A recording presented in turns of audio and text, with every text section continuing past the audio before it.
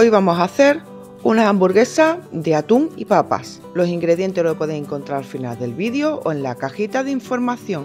No olvides después de ver el vídeo darle a me gusta, suscribirte y darle a la campanita para no perderte ninguna de mis recetas. Y no te pierdas ningún detalle del vídeo porque te voy a dar consejos maravillosos para que esta receta te quede perfecta. Vamos a colocar el atún le hemos quitado el aceite en un bol, como estáis viendo ahora mismo en el vídeo. Y la cebolla la vamos a rallar simplemente con un rallador. Podéis coger también y cortarlas con el cuchillo, cortarlas muy muy muy muy picadita y es suficiente, pero como veis con el rallador se hace muy fácil. Una vez que tengamos nuestra cebolla rallada, le vamos a añadir el perejil picadito eh, fresco, perejil fresco picadito. Añadimos también los huevos, que vamos a añadirle dos huevos.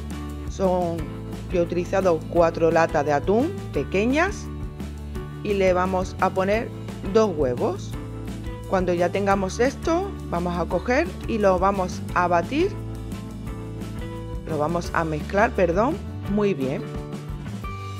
No le vamos a añadir nada de sal, porque con el, atún ya lleva, su sal y como le vamos a poner esta especia que le estamos poniendo pimentón dulce y cúrcuma para darle sabor a estas hamburguesas de atún y papas. La mezclamos y ahora vamos a añadirle el puré de patata deshidratado. Vamos a ir añadiéndole poco a poco hasta hacer una masa. Una masa que tiene que estar Ahora lo vais a ver, por eso es mejor añadirle poco a poco nuestro puré de patata. Cuando ya lo tengamos, ¿veis? Con esta consistencia, de esta manera, pues vamos a ir formando nuestras hamburguesas.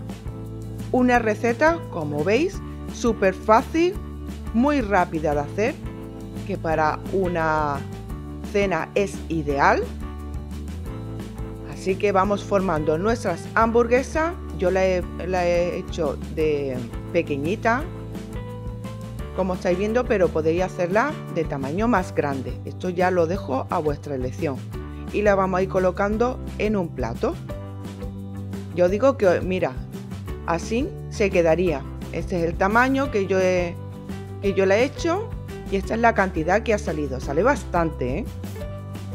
con solo cuatro latas de atún. Mirar.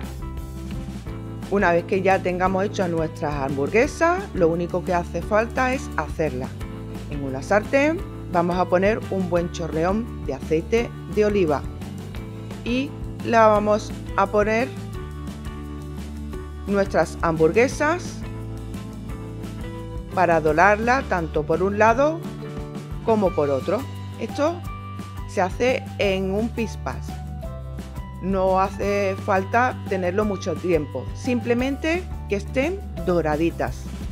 Las doramos por un lado, le damos la vuelta y las doramos por el otro lado. ¿Veis? Súper fácil de hacer esta receta y no os podéis ni imaginar qué riquísimas están. Una vez que la tengamos hecha, ya podemos servir ponle por encima un poquito de perejil picado que esto le va a dar color y le va a dar un sabor a nuestras hamburguesas de atún y papa. Mirad, qué cosa más rica. La podéis poner acompañando de la salsa que más os guste. Yo le he puesto mahonesa, pero podéis ponerle la salsa que más os guste. Mmm.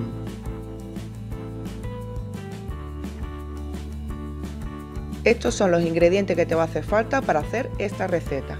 Aquí te dejo más recetas que estoy segura que te van a encantar. Pincha en la foto y te llevará directamente a la receta. Y este es mi canal Postres Fáciles y Rápidos.